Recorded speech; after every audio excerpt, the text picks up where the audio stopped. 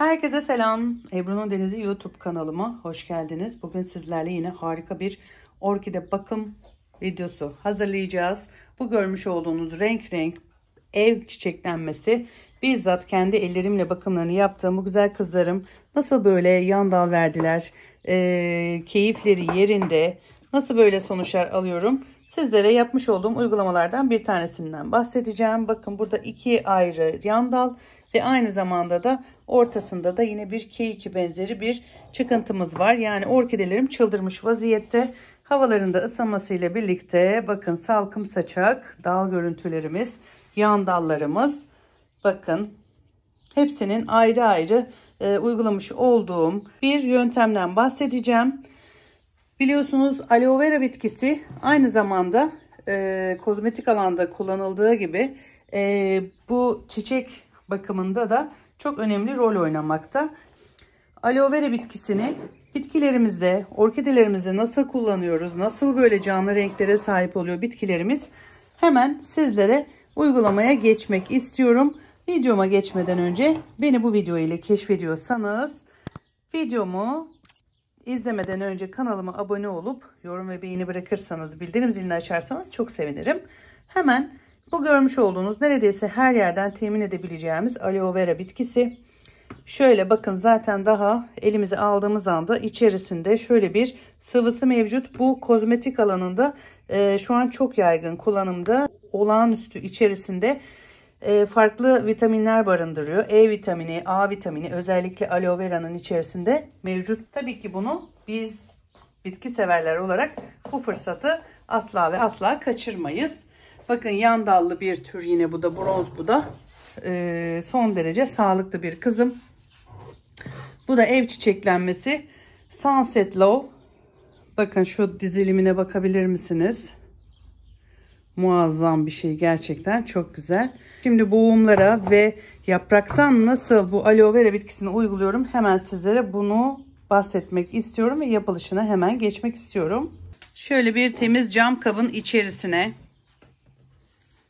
şu etli enli yerlerini kabuğunu soymadan sadece bir tane yeterli.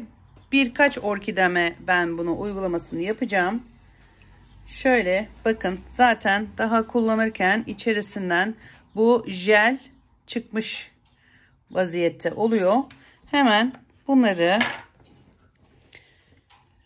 şöyle bir de e, şöyle bir çizik atıyorum. Daha iyi jeli çıkması için şu cam kavanozun içerisine alıyorum. Bu yöntemi mutlaka denemenizi tavsiye ederim. Tamamen doğal. Hiçbir kimyasal e, içerisinde kimyasal durum yok. Tüm bitkilerinize gönül rahatlığıyla uygulayabilirsiniz. Şimdi bakın bir yöntem şöyle kavanozumun içerisine şöyle sıcak suyu boşaltıyorum. Bakın zaten renginin nasıl değiştiğini hep birlikte görüyoruz. Şöyle bakın. Hemen nasıl değişti biliyorsunuz. Şöyle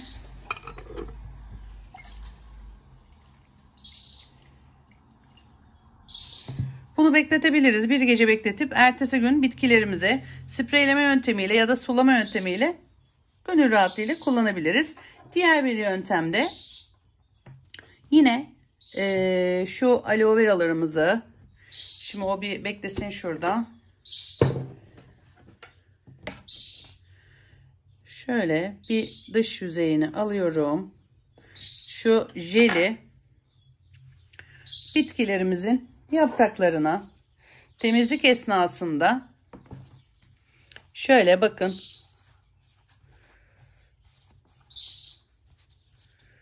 Bunu kullanabilirsiniz.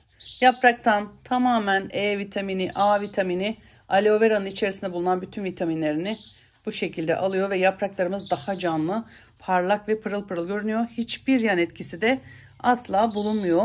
Bunu Ebru'nun denize güvencesiyle e, orkide yapraklarınızda kullanabilirsiniz. Gönül rahatlığıyla kullanabilirsiniz ve ne kadar canlı pırıl pırıl yapraklara sahip olduğunuzu çok kısa sürede hemen göreceksiniz. Bakın yaprağın son haline.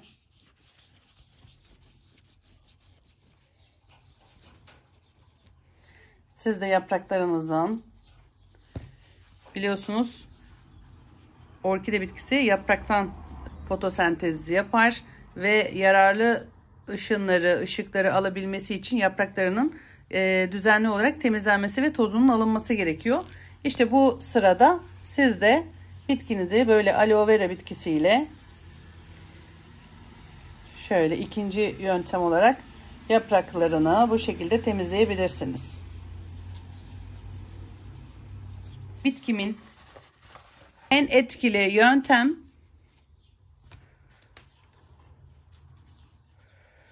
bitkinin yapraklardan uyguladığımız yöntem önemli. Ee, ben şimdi yapraktan bu e, işlemi yapacağım için yaprak aralarına şöyle bir e, önlem alıyorum ve kağıt havlu yerleştiriyorum. Siz de öyle yapabilirsiniz ve içiniz rahat olsun. Şu yaprak aralarına bir şekilde geçmemiş olsun. Evet. Siz de hazırlamış olduğunuz karışımı şöyle benim gibi sprey şişemize boşaltıyorum.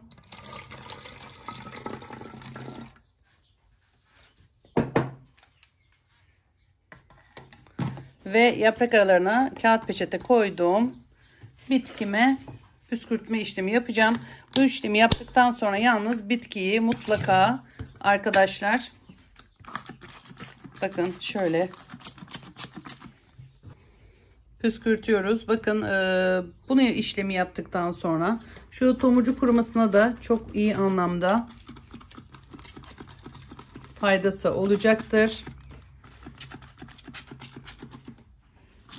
Yaprak uçlarına tıpkı yapraktan gübreleme yapar gibi tüm bitkilerimize gönül rahatlığıyla kullanabiliriz arkadaşlar.